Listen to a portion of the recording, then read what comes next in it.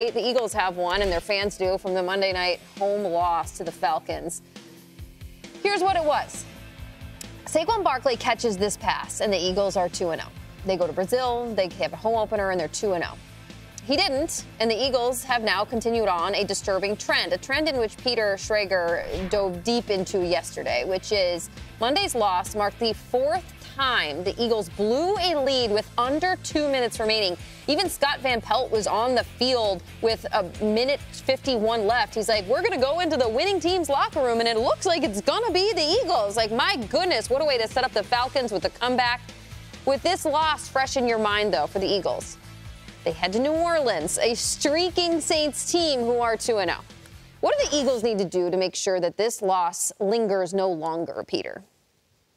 It, it, it, could be an avalanche in Philadelphia. I have to set the scene again for viewers at home as I'm wearing my Eagles green here. I nice. have no connection to the team.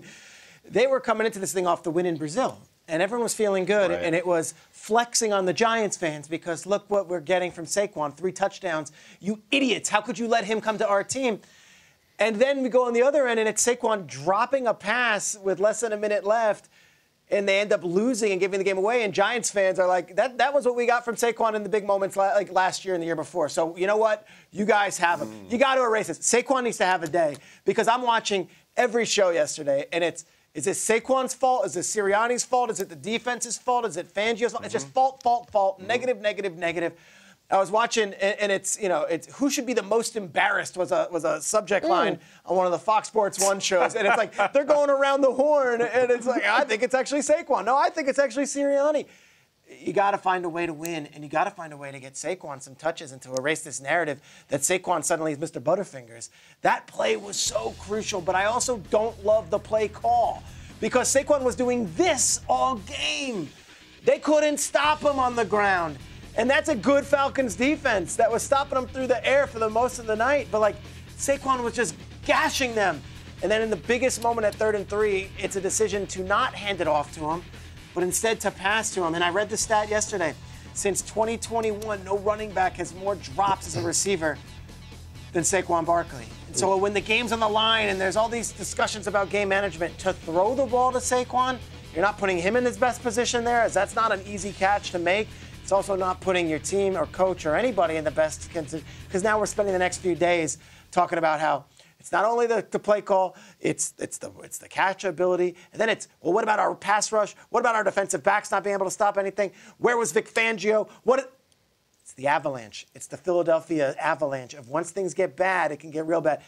You got to get Saquon going, and you got to find a way to beat the Saints. You have to, because this thing can get out of control quick, especially in that media market. Yeah, it's absolutely going to happen in the trenches. This is, you know, all the big names get all the attention, right? The Hurts and the Saquon, but I think it's going to happen in the trenches, especially for the Eagles' offensive line. I mean, they really did help to propel Hurts to 85 yards in rushing and Saquon 95 yards. I mean, they they dominated the, the, the, the, run game in that in that situation. So I think it's going to start on that side, and then on the other side of the ball, I think the defensive line is going to have to step up because when you watch the Saints and the way they dominated against the Cowboys and the way they were hitting the, the screen games and the way they were absolutely using the run technique to really be able to the, the, the runs they were really, really controlling that. And so I think for the Eagles, they have to be on top because if the Saints get out on top very fast, it could be very hard for them to play catch up. That's what happened to Dallas. Dallas just was, they were on their heels. They just, they couldn't keep up. I mean, so they have to be able to continue, contain the edges. When Alvin Kamara gets out there off to the off to the edge, I mean he's 88 and out the gate, and that can be very hard to control. So if they're going to overcome and get over this hangover, I think it's going to be winning it in the trenches, both on the defensive line and the offensive line. Yeah, I'm going to keep it simple and go from the team aspect and really just say they just have to finish. Uh, the Philadelphia Eagles have put themselves in a good position. They are one and one. They obviously had a bad loss last week, but ultimately you just have to finish. They're doing really good things. They have this new weapon in Saquon Barkley that they're getting the rock to. They had 186 yards on the ground. They won the time of possession, 35, uh, 35 minutes out of the 60 minutes of the game. When they got down to the red zone, they did not finish. They were two of five in the red zone. They had nine penalties. They beat themselves. So ultimately, all the Eagles have to do is just go back to the basics, make sure you control the ball, don't turn the ball over like you've been doing, and just finish the game. Ultimately, you saw what Saquon Barkley did there. It's okay. He's going to be just fine. As long as you keep the ball out of the hands of the Saints and you take care of business, you finish these drives, you finish with touchdowns, you're going to be perfectly fine. I have a question for Isaiah because he's he's two days now saying Saquon is their best playmaker. Like you give him the ball, that's fine in the locker room after a drop like that, what's the conversation with the team? Is it even a thing, or it's like we got we got his back no matter what? Or is someone saying, "Hey, you catch that ball, we're, we're two and zero, we're not dealing with any of these questions"? Yeah, nobody's questioning Saquon Barkley's abilities, right? Like, that, you wouldn't even be in a position to win ball games if it wasn't for Saquon Barkley. You just mentioned it right there on the, on the film. He was killing them on the ground game. He was shaking everybody up, killing mm-hmm. them in the phone booth. So mm-hmm. that is your playmaker, yeah. right? So there's no issue, there's no question marks now if this is a, a reoccurring problem, now you might start looking at him a little bit sideways. But this is a one-off occurrence for him with the Eagles. I know you're going to go back to the history. That's why I threw the Eagles in there. Mm-hmm. All right, but this is a one-time issue for him there. If these guys go out there and execute the way they've been doing, as Kellen Moore continues to get more comfortable with these weapons and learning how to use them, pre-snap uh, reads, pre-snap motions, getting the ball in all the playmakers' hands defensively, Vic Fangio finds a way to get some pressure defensively. These guys are going to be all right. You already saw what Gardner Johnson said. Man, this is football, man. Yeah, like, like yeah. this is a game. Like everybody's going to make a mistake. They don't sound the alarm yet, but if they lose this game, then you might want to go ahead and do, and do the doggone siren like yeah. you were with the Chargers the other day. and, and I'll add this too because I think it's a great question, Peter.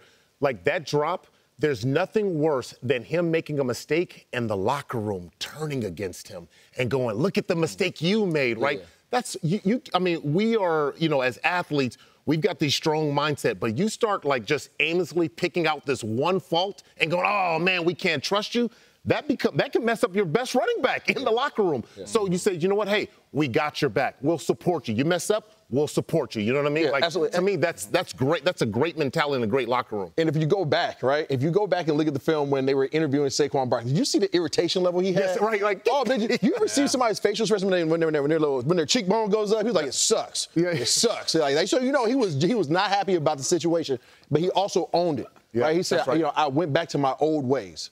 I went back to my old ways. So he's going to go back. He's going to be in the jugs machine all day, all night, ensuring that his team understands that I can be counted on in these situations. That's right.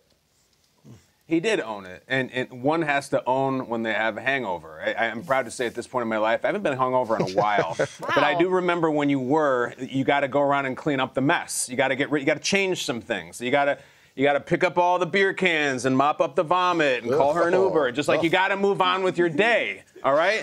so I just think like from here on out for the Eagles, this as a spectator and as an Eagles enthusiast, some things I just don't really want to hear or see anymore. For first of all.